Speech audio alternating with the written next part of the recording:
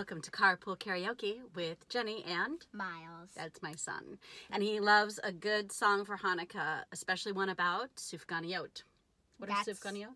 It's donut holes. Donut holes. Everyone loves a good donut hole. All right, so what should people do here? Uh, people should sing along and Eat donut holes? eat donut holes. Exactly. Ideally, here we go. Two, three,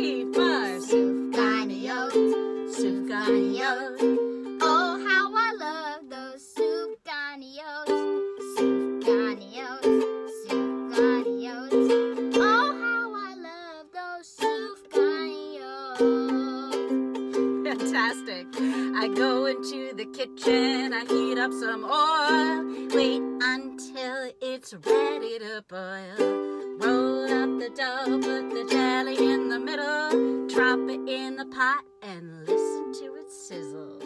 What does it sound like?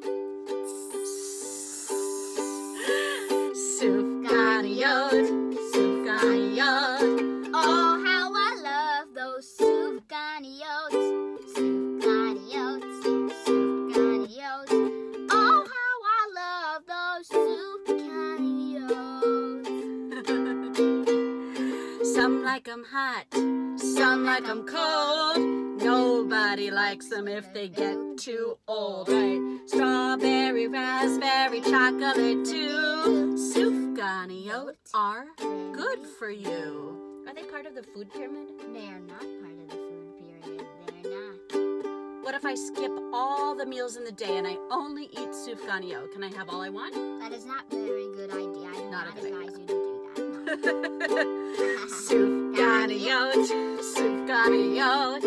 Oh, how I love those sufganiyot, soup Sufganiyot, Sufganiyot, Sufganiyot. Oh, how I love those soup Sufganiyot.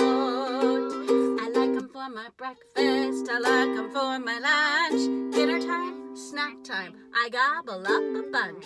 The only problem is when I eat too and I feel kind of funny. What would you recommend? I would recommend you to relax and stop eating so many sufganiyot. Sufganiyot, Sufganiyot.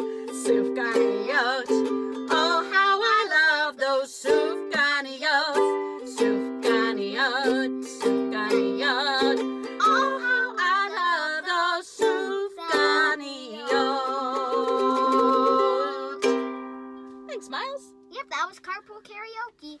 Bye.